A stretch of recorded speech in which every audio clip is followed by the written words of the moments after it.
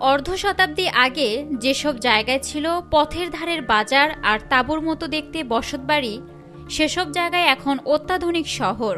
চোখ ধাঁধানো স্থাপত্যে সারি সারি গগনচুম্বী অট্টালিকা আর প্রশস্ত সড়ক। দেখে মনে হবে যেন মরুর বুকে মহাকাশের কল্পিত কোনো নগরী নেমে এসেছে।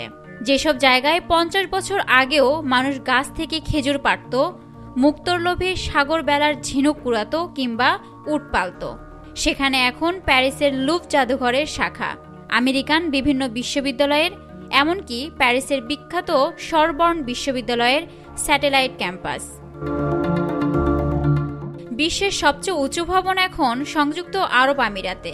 সবচেয়ে বিলাসবহুল হোটেলও সেখানে। এখন পর্যন্ত সারা বিশ্বের মধ্যে সবচেয়ে বেশি দামে চিত্রকর্ম কিনেছে সংযুক্ত আরব আমিরাত।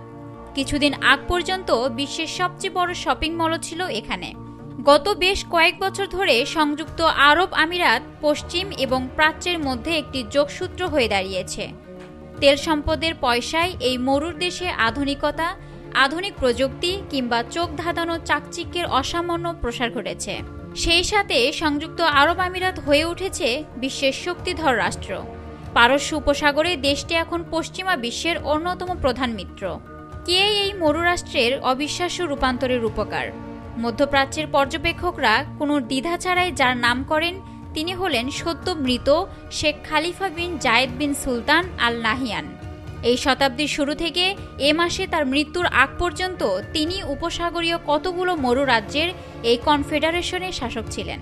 বিশ্বের অন্যতম শীর্ষ ধনী এবং আবুধাবির আমির শেখ খালিফা ছিলেন সংযুক্ত আরব আমিরাতের দ্বিতীয় প্রেসিডেন্ট।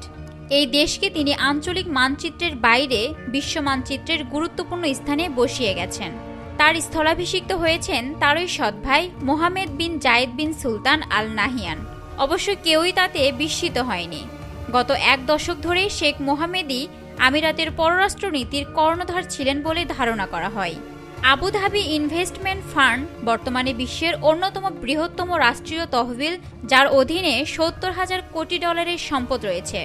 সংযুক্ত আরব আমিরাত প্রথম কোনো সমসাময়িক আরব দেশ, যারা এমনকি ইউরোপে পর্যন্ত সৈন্য পাঠিয়েছে। উনিশশো নব্বই সালে ন্যাটোর সমর্থনে লড়াই করতে কসোভোতে তারা সৈন্য পাঠায়। পরে বিশ্বের অন্যান্য জায়গাতেও সৈন্য পাঠিয়েছে সংযুক্ত আরব আমিরাত। কয়েক বছর ধরে সিরিয়ায় ইসলামিক স্টেটের বিরুদ্ধে সামরিক অভিযানে যুক্তরাষ্ট্রের সাথে যোগ দেয় তারা। একই সাথে ভূ রাজনৈতিক প্রভাব তৈরির লক্ষ্যে তুরস্কের মতো দেশের সাথেও টক্কর দেওয়া শুরু করে সংযুক্ত আরব আমিরাত। সোমালিয়া, সোমালিল্যান্ড, জিবুতি এবং সুদানের মতো দেশেও তারা যুক্ত হয়।